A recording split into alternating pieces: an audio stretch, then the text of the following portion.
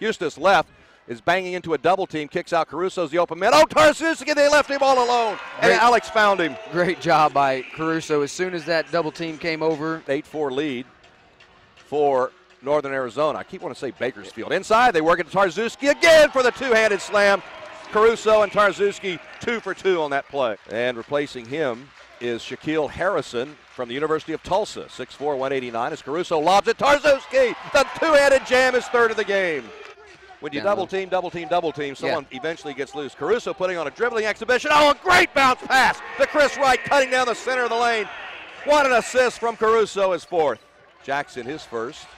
Caruso goes to Dez, catch and shoot three straight away. Stroked it. And Dez buries it with three seconds left in the quarter to give Oklahoma City the lead again. SBI here in Oklahoma City. Here's Bryson, bounce past Davis. Oh, swatted away by Xavier. Into the hands of Caruso. Four on two. Goes left to Xavier, high off the glass. It falls for Xavier as he hit the deck.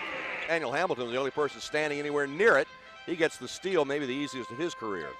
Caruso goes in the paint to Tarczewski. Catch. He catches, spins, hooks it in. Alex Caruso has a steal in the game. That's seven games in a row now. 14 steals over those seven. He has the ball now. Kicks it out to Hamilton. Three on its way. Stroked it. And Daniel knocks down another four.